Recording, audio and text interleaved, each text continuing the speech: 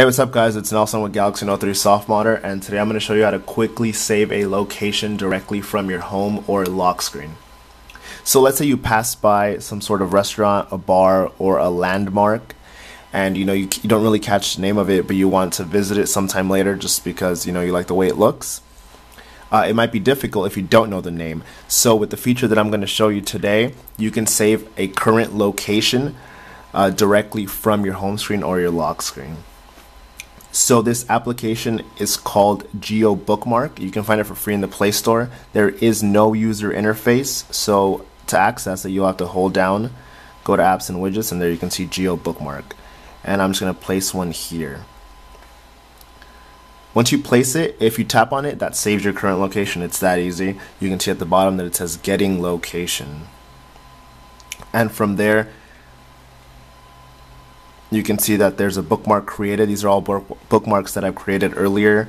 Uh, blue means that it used GPS. Uh, red means that it couldn't quite get a signal, but it used your last location. And so you can also place this in your lock screen, which makes it even quicker to access. So I'm going to head over to the lock screen now. And I'm just going to swipe over here, tap on this, and go to geo bookmark. So now you can see that it's set directly on my lock screen. Uh, if I want to save a location, I just tap on here and it says getting location once again and it'll save the bookmark onto your lock screen and it's so much quicker than having it on your home screen. Uh, if you have DashClock, which is a widget for your lock screen, you can also add that to DashClock. So I'm going to head over. Here it is. Um, I already have it on here. If you want to add it, you tap on the gear icon.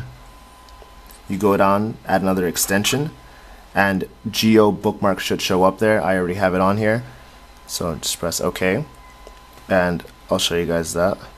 You can see there it is, Geo Bookmark. So I can just tap up here. And the location will be saved and it'll all show up here. You can create a folder for all these to be saved, but you can see the times and all that stuff. So it makes it easier to know uh, when you save the location.